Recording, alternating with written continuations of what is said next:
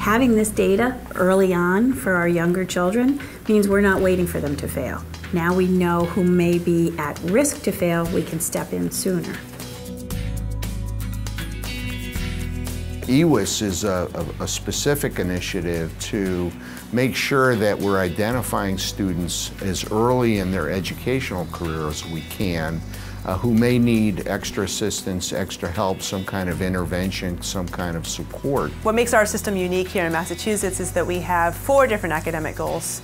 Um, so the first academic goal includes reading by the end of third grade. The next academic goal is the proxy for being middle school ready. Grades 7, 8, and 9 is associated with the academic goal of passing all grade 9 courses. And then the final academic goal of high school graduation. We've never had data all in one place that we can look at. We've never had a school-wide or district-wide approach to looking at data. So right now we've sort of blown up our old model of you know, silos, separate silos all over the school, and we're talking about students and the indicators and how you can work with them, whether you're their English teacher or their guidance counselor or the nurse, we're talking about that. Districts don't have the capacity to do a lot of this on their own. There's no cost to the district, which is another advantage. These are tough budget times, and this probably would not be going on right now in Hudson as a pilot if there were a significant cost involved with it. We have some kids who are actually doing really quite poorly in school, but who are kind of floating under the radar. As a result, they're sort of silently failing. And so it allowed us to bring a set of kids into our field division who really needed to be there, but who weren't there. What EWIS does is to do a data dive very deeply for each teacher to be able to see how those indicators impact their particular students. So it takes away the myth of what does a percentage mean at the district level. It means names and faces in front of teachers. One of the things that we do very well at Malden High School is get to know our students and make connections.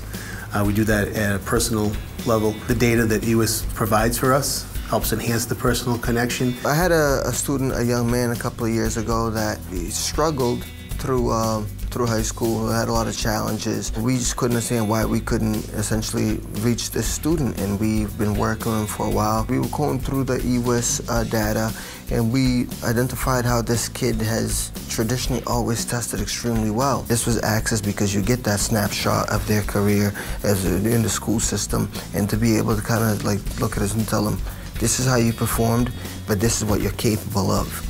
And you know, it was kind of like the clicking factor for the student. Now that we have the EWIS data, um, instead of spending the first two months talking about what students are in need of support, what students are struggling, and working on those two months trying to identify the students. We're starting from the beginning to help the students instead of, you know, trying to play catch up with them a couple months then.